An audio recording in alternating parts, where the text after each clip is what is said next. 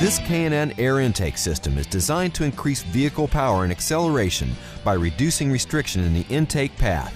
The intake kit fits the vehicles shown as well as additional vehicles identified on the K&N website or catalog. The K&N air intake system is guaranteed to produce a measurable increase in vehicle horsepower.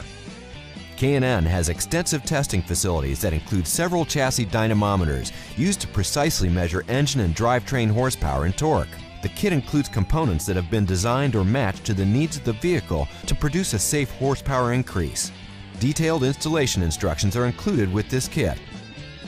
The tools needed for this install are shown. The first step of the install is to turn off the ignition and disconnect the negative battery cable. Release the locking tab and then disconnect the mass air sensor electrical connection. Next, loosen the hose clamp which secures the intake tube to the mass air sensor. Then, loosen the four screws which secure the upper airbox housing to the lower airbox housing. Loosen the bolt which secures the upper airbox to the valve cover. Now you can remove the upper airbox and then remove the stock air filter.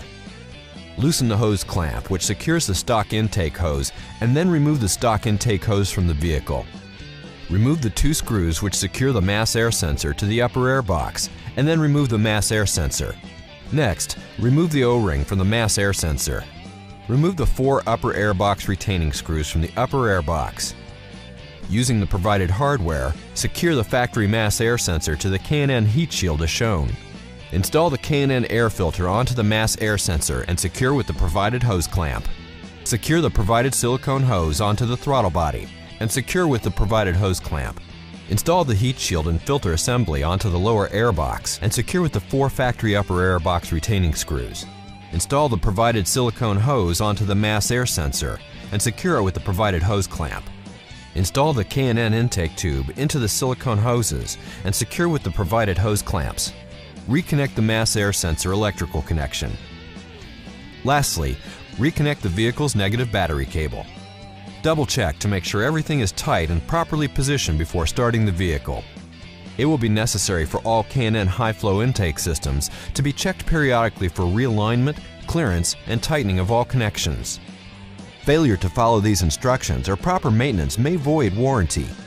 This intake kit is not legal for highway use in California or other states adopting California emission standards. Check our website for up-to-date information on emissions legality for specific parts on specific vehicles and for a list of the other CARB adoption states. K&N makes products for nearly every vehicle on the road. The K&N website allows you to search products by vehicle or dimension, download installation instructions, view dyno charts showing typical horsepower gains for this product, and view product details. For more information on where to buy K&N products, go to knfilters.com.